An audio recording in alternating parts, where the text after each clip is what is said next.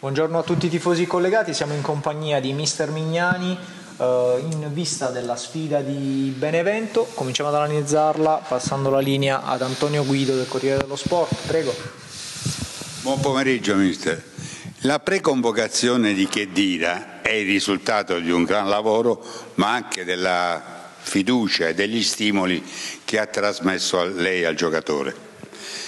Quanto è felice e quanto è preoccupato se dovesse partire per il Qatar? Eh, posta come l'hai, come, come l'hai, messa tu eh, sono felice, se, mi hai dato meriti, quindi a parte gli scherzi, eh, il lavoro di gruppo, eh, la crescita individuale un, insieme alla squadra di un, di un calciatore eh, che ha fatto un percorso di un anno e più con noi, eh, quindi è una gratificazione per tutti, penso per, per il ragazzo stesso, per per la società, per me, eh, per i compagni e credo anche per, per i nostri tifosi. Eh, adesso ce l'abbiamo, adesso lo possiamo utilizzare quando, quando andrà via, se andrà via penseremo a questo. Insomma, adesso stiamo preparando la partita col Benevento e non possiamo preoccuparci di quello che succederà tra un mese. Franco C. Uh, Michele Carofiglio, prego. Sì, buon pomeriggio mister, insomma eh, le chiedo eh, che partita si aspetta contro il Benevento e eh, insomma anche eh, che cosa si aspetta in virtù dello scontro in panchina con un suo ex compagno di reparto per quanto riguarda da calciatore, insomma eravate entrambi difensori con eh, Cannavaro, insomma oltretutto lo, ehm, lo, avrà affrontato tantissime volte anche da, eh, da calciatore, insomma questo uh, rivederlo in panchina, che, che sfida si aspetta da questo punto di vista? Ma il paragone calcistico non regge perché Cannavaro è stato un campione e io, che io ho guardato più spesso dalla televisione che non le volte ci ho giocato contro che sono sicuramente poche però è, è una figura che ho sempre ammirato che ho sempre apprezzato per la, al di là delle qualità di calciatore anche per l'immagine del, dell'uomo di per sé. E sarà un, piacere, sarà un piacere incontrarlo, sarà un piacere sfidarlo, sarà un piacere stringergli la mano, eh, però poi noi dobbiamo pensare alla partita e mi aspetta una partita come sempre molto difficile perché questo ce lo diciamo tutte le volte ma eh, questo campionato ogni partita ti mette di fronte ad una squadra fortissima il Benevento eh, nasce con l'ambizione di stare tra le posizioni alte di classifica insieme a, al pari di, di altre squadre, non, non, ha avuto un buon inizio di, di campionato, però una squadra che ha, che ha, valori assoluti individuali e che sta cercando adesso con l'arrivo del nuovo allenatore di trovare una quadratura, per cui mi aspetto una partita dove bisogna stare attenti, dove bisogna eh, avere grossa attenzione e non distrarsi mai perché hanno giocatori che ti possono far male in ogni momento. Prego Franco Civici. Allora, il tuo Bari è la negazione del fattore campo. Lo dicono i numeri, non io, nel senso che hai conquistato 6 punti in casa in 5 partite, 13 fuori in 6, quindi il doppio fuori casa. Allora, siccome da una parte ci sono i numeri, dall'altra ci sono i fatti, perché avremmo potuto probabilmente eh, meritato qualcosa in più, però io la faccio stretta. Il Bari è stato più iellato in casa o più fortunato fuori? Insomma, dov'è la verità? L'allenatore che ne pensa? Ti senti più in credito da una parte, in debito dall'altra? In relazione al fatto che oggettivamente adesso andiamo a giocare fuori e forse visti i risultati uno deve, deve essere più tranquillo quando il Bari gioca fuori che in casa. Ma io Franco penso che abbiamo probabilmente i punti abbiamo meritato di fare. Se penso ad alcune trasferte forse eh, abbiamo vinto partite che potevano finire in parità, se penso ad alcune partite in casa probabilmente non abbiamo vinto partite che meritavamo o potevamo vincere. Eh, non faccio di grossa distinzione di, nella preparazione alla partita del, tra giocare in casa e giocare in trasferta, ripeto noi lavoriamo su, un, su un'idea, su una mentalità, su un pensiero e andiamo a giocarcela dappertutto, poi mh, i numeri non mentono, soprattutto quando poi cominciano ad essere tanti e quindi questo vuol dire che può, può, anche voler dire che le squadre avversarie in casa ci affrontano in un certo modo, in trasferta ci affrontano in un altro modo, può anche voler dire che eh, ogni settimana, come, come, come, come, spesso dico, ci conoscono e quindi ci conoscono meglio e quindi possono pensare di, di adottare delle contromisure, però eh, rimango dell'idea che noi prepariamo sempre la partita per provare a vincere, credo che questo l'abbiamo anche dimostrato eh, anche nell'ultima partita in casa dove eh, abbiamo creato, abbiamo credo messo anche in difficoltà una squadra come la Ternana che fino alla settimana prima era prima in classifica.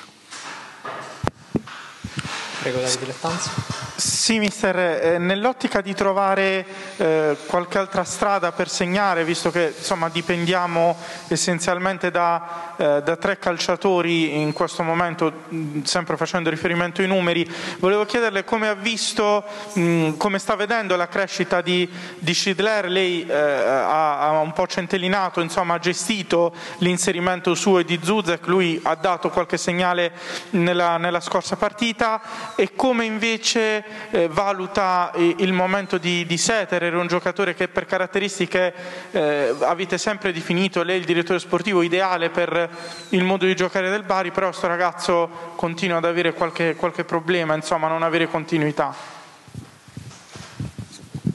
Ehm, parto col dire che eh, credo che sia eh, anche scontato il fatto che se un giocatore gioca sempre o quasi sempre 90 minuti ogni partita abbia più, prob più probabilità di segnare di uno che ne gioca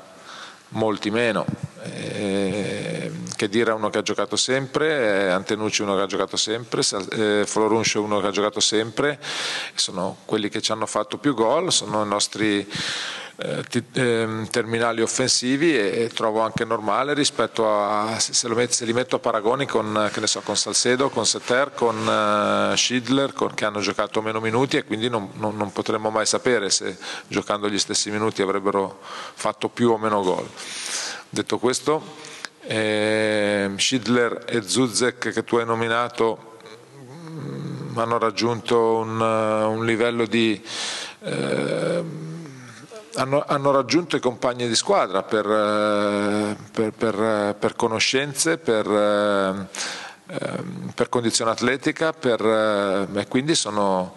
li, li, considero come gli altri e possono giocare dal primo minuto, entrare, ma per me adesso sono alla pari degli altri. Prima li, li, ritenevo un passo indietro, ma credo che fosse anche normale, poi uno se ha la necessità avrei potuto inserirli prima ma la necessità non c'era e quindi ho cercato un, un inserimento graduale e secondo me adesso eh, sono al pari degli altri. Setter ha avuto un problema fisico, Setter non si sta allenando con la squadra e quindi al di là delle caratteristiche, al di là, al di, là di tutto in questo momento non è a disposizione. Prego Paolo Ruscitto. Mister, la storia delle ultime partite è una storia molto diversa, ehm, proprio anche rispetto ai risultati che sono maturati, però c'è una riflessione che personalmente ho fatto e che vorrei condividere con lei rispetto anche all'atteggiamento della squadra, perché all'inizio si diceva che uno dei punti di forza del Bari, del suo Bari, fosse la spensieratezza, il fatto di giocare appunto senza quella pressione di dover vincere a tutti i costi che aveva la sua squadra lo scorso anno. Ritiene che eh, i risultati, le prestazioni, magari anche quella scarsa lucidità sotto porta dell'ultimo periodo sia figlio invece eh, di una responsabilità maggiore che avverte la squadra che si è ritrovata insomma, in, in virtù di ottime prestazioni più in alto in classifica e le chiedo in virtù anche delle scelte che farà domani Eh, ci sarà sicuramente tra i nodi da sciogliere quello che riguarderà Ruben Botta, lei ha parlato di una partita di alto livello con la Ternana, eh, quanto è felice di aver ritrovato il calciatore che l'anno scorso ha trascinato il Bari nel girone di andata? Eh, hai fatto una considerazione intelligente alla quale io mm, non sono in grado di risponderti, eh, non credo, non penso, io credo che la squadra eh, abbia preso coscienza di un campionato eh, difficile, che abbia preso coscienza che per vincere la partita, ogni partita eh, ci vuole una piccola impresa e, però ritengo che la squadra non abbia cambiato atteggiamento rispetto alle prime partite, anzi abbia mantenuto un atteggiamento sempre spensierato, sempre propositivo. Eh, è chiaro che ogni partita, ti, ogni partita, ti, dà qualcosa in più perché ogni partita contro avversari forti ti fa crescere e, e in, al di là del risultato. Quindi non ho, non ho percepito, se, la, se posso darti questa risposta, non ho percepito che la squadra abbia rispetto all'inizio subito pressioni perché è stata nei quartieri alti della classifica. E sono contento, sono contento che, che, Botta eh, abbia fatto un'ottima partita e io vorrei che questo si ripetesse nel, nel caso in cui io lo mandassi in campo. E, deve dare continuità in allenamento, deve dare come, come sta facendo, deve, deve dare se, se, gli do la possibilità continuità di prestazioni in partita. Ehm, quello che più mi ha fatto felice è che nell'ultimo periodo ho visto un giocatore molto presente, molto presente sia sotto l'aspetto mentale che sotto l'aspetto fisico, cosa che eh, qualche tempo fa non vedevo. Prego Marco Iusco. Buonasera mister, le chiedo, eh, avendo visto la partita Benevento-Pisa, si è visto un Benevento eh, molto guardingo che ha sofferto un po' la, l'aggressività del Pisa e stava rischiando anche di perdere, però poi con la, l'individualità e con la fisicità nel finale hanno rischiato anche di, hanno avuto la possibilità di vincere. Doma, eh, sabato dobbiamo aspettarci un Bari più che punti alla prestazione, un Bari più di sostanza come appunto diceva in altre trasferte si è visto o comunque che tipo di Bari dobbiamo aspettarci? Io penso che per andare risultato, a fare il risultato a Benevento ci voglia per forza un Bari di sostanza. Sono, come è successo in altre trasferte, come è successo a Venezia, come è successo a Cagliari, come è successo a Frosinone, e devi fare prestazione, devi mettere sostanza, devi, devi, devi opporti ehm, ehm, sia con organizzazione ma anche con eh, agonismo, con, con, intensità, perché altrimenti non esci vivo da nessun campo, che, né dal nostro né, né, da quello degli avversari, quindi eh, lo sapete che questo per me deve essere una base, un presupposto il primo pensiero è battagliare. E poi nella battaglia bisogna anche riuscire a metterci organizzazione e qualità perché altrimenti non, non completi l'opera. Buongiorno mister, ricollegandomi alla questione gol, personalmente lei da chi si aspetta maggiore contributo? Perché ad esempio fa specie vedere una mezzala come Maita quasi sempre con pochi numeri da quel punto di vista, anche magari penso ai vari Salcedo che lei lo usa come arma da giocarsi nella ripresa, eh, ancora non ha segnato o la stessa difesa, l'anno scorso ci eravamo abituati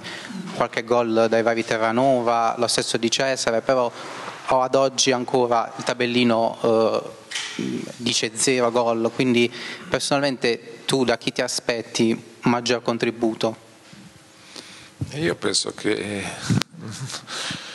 i gol li possano fare tutti, eh, magari è più difficile che lo facciano i terzini perché i, terzini, i nostri terzini quasi mai vanno a saltare sulle palle native e, e, e, non, e non gli chiedo mm, a meno che non ci siano situazioni, eventi particolari, di inserirsi in zona gol, sono preposti magari a, a, creare superiorità numerica sugli esterni, a, a, fare gioco e ad arrivare sul fondo o, o, vicino al fondo per crossare, quindi poi per il resto dagli altri giocatori eh, io credo che i gol si possono fare in tanti modi, quindi con i difensori quando vanno a saltare sui calcio d'angoli, con, eh, con le mezzali quando si inseriscono, qual, chiunque esso sia in campo di mezzala, con eh, i trequartisti, con eh, gli attaccanti io mi aspetto che tutti eh, prima o poi possano trovare la via del gol eh, come dicevo prima è normale che eh, più uno gioca più uno è in campo più probabilità di fare gol, però eh, penso che gli attaccanti che abbiamo quando giocano possano, possano avere la possibilità di segnare, centrocampisti uguali, eh, poi ci sono quelli che hanno più caratteristiche eh, di, e presenza in zona gol e quelli che ne hanno meno. Ecco, Maita probabilmente è una mezzala che al di là del tiro da fuori, però è una mezzala che ancora può crescere e migliorare sotto l'aspetto realizzativo perché deve trovare inserimenti, lui, ma inserimenti quelli che fanno più male sono quelli senza palla, eh, lui ne fa, ne fa pochi. Chiusura, prego. Sì, salve mister, eh, le chiedo come sta Antenucci e se diciamo per il futuro, avendo a disposizione poi Botta, Bellomo eh, e lo stesso Antenucci, un'idea può essere quella di giocare con Botta e Bellomo alle spalle dell'attaccante di Chedira, parlo sempre di soluzioni in assenza di, di Antenucci, grazie. Tenucci sta bene, eh, se non succede niente in questi, in questi, ultimi giorni sta bene, ieri si è allenato, ha fatto tutto l'allenamento con la squadra, ha fatto un lavoro preventivo nei primi giorni della settimana, ieri ha fatto tutto l'allenamento, quindi per me è, è recuperato, chiaro che eh, ha perso una settimana di lavoro ma non aveva mai saltato un minuto prima, quindi questo non è un grosso problema. Eh, torna a disposizione Bellomo che è un giocatore affidabile e, e, che può fare secondo me anche lui tutti i ruoli di centrocampo perché può fare il tre quarti come l'ha utilizzato, può fare anche la mezzala. E, si può, si può pensare, abbiamo giocatori per pensare tante cose per, eh, e per metterci in tanti modi. Chiaro è che credo che non, eh, non ci discosteremo molto da avere, da avere comunque anche a Benevento tre giocatori offensivi. Posso dire una Prego. Scusami che non so se sei d'accordo con me, perché io per esempio, come tanti altri, abbiamo visto con la Ternana un Bari bello, oggettivamente era, gli potevi chiedere solo il gol in più, non è che gli potevi fare altri appunti.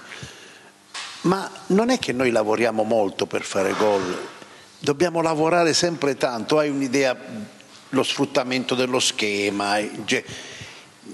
sui calci piazzati e sulle botte da distanza io non conosco i dati, però ripassando a memoria come segniamo, forse lì ci manca qualcosa, nel senso che ha, tu i gol non li hai mai regalati dalla botta da 30 metri o dal calcio d'angolo, quest'anno dobbiamo lavorarci molto per arrivare, vero o no? Beh, gol su palla nativa mi ha fatto uno, ha fatto uno di testa. E... È vero che qualche volta ci siamo andati vicini, è vero che sicuramente dobbiamo migliorare perché i gol si fanno in tanti modi,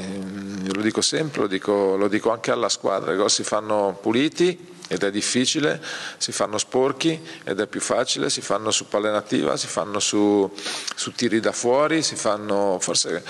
quello che ci manca è sicuramente il gol da palle nativa e, e dobbiamo, dobbiamo, migliorare, dobbiamo al di là degli schemi, dobbiamo essere cattivi quando andiamo a, a